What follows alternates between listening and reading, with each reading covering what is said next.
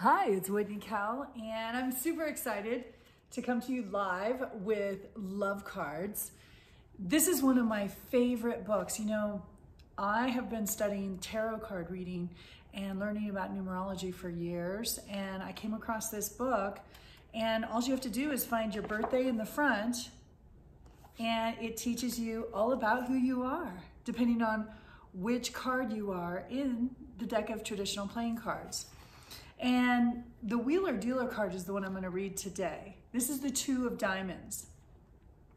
The Two of Diamonds has an innate intuition that, if followed, will always lead them to success and show them the right path to follow.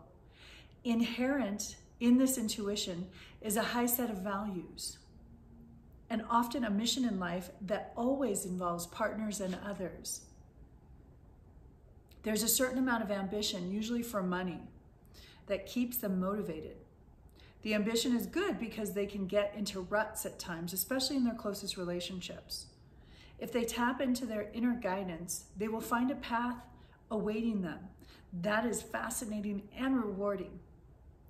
They do best by establishing themselves in one business and sticking with it.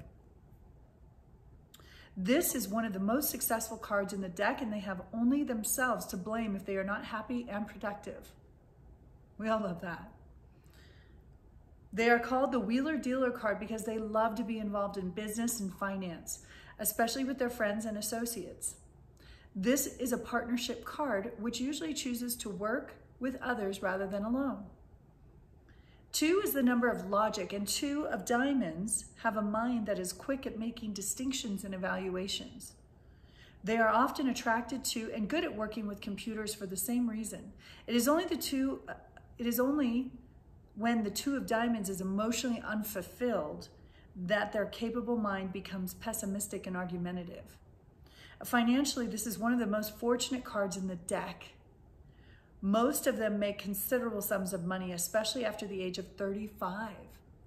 They have a lot to be grateful for. Sounds like it. They should be careful that their social obligations do not tax their health and well being. Sometimes they get so caught up in their work that they forget to take care of themselves. They can make large sums of money in real estate, especially in their later years, and maintain good health throughout their lives. This is one of the cards that is likely to live to the age of 100. Congratulations.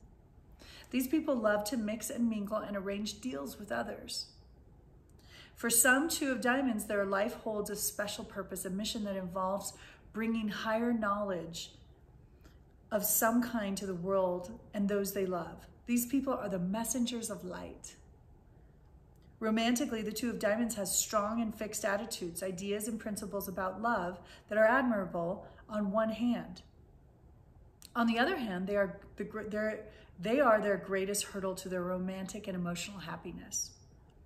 Many of them must learn that love and marriage are more than their fixed ideas about them. Once they are in a relationship, whether good or bad, they are usually stuck by these fixed principles. This can cause them to linger where happiness is not. When this happens, they become bitter and inclined to negativity, manifesting the argumentative side of this card.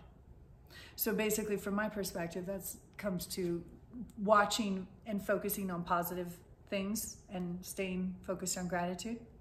A male two of diamonds in a marriage that is over emotional will often have affairs, even multiple affairs, but will shun divorce at all costs. People should stay married forever is a belief that all of them should examine for its validity before entering into marriage. The Ace of Hearts Pluto card indicates a strong but often hidden need for affection, which can go unnoticed or unacknowledged because they go they get so involved in the mental side of life in their work or business. The inner need for affection and self-respect at the heart of most of their relationship issues and problems. The two of diamonds is usually a very intellectual person. This powerful mind which serves them so well in their careers can be a stumbling block to success in personal relationships because it inhibits their abilities to feel with work, this inhibition can be overcome and they can learn to communicate the intimate feelings that are necessary for a healthy relationship. Two of diamond females can make a good marriage to a spade male. Two of diamonds men may do better with women from the heart suit. Both sexes have many diamond women friends. So I really love helping people get clear on who they are. I'm curious what you think of this reading. If you are two of diamonds, you'll see your birthday down below in the comments. And I would be interested to hear how accurate this is for you.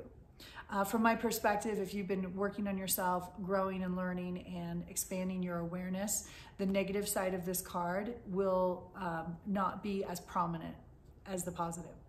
So I'm glad I was able to bring this to you. Happy birthday. And um, if you'd like to know more about what your other cards are, you're welcome to private message me or pick up this book. It's fantastic. So there's different dates of birthdays, January 25th, February 23rd, March 25th, 21st, April 19th, May 17th, June 15th, July 13th, August 11th, September 9th, October 7th, November 5th, and December 3rd. And depending on when your birthday is, we'll tell you what your planetary ruling card is. And then we could do another reading for that one, or you can just go and look, like I said, in the comments below and take a look at what your planetary ruling card is. Thanks so much for dropping in.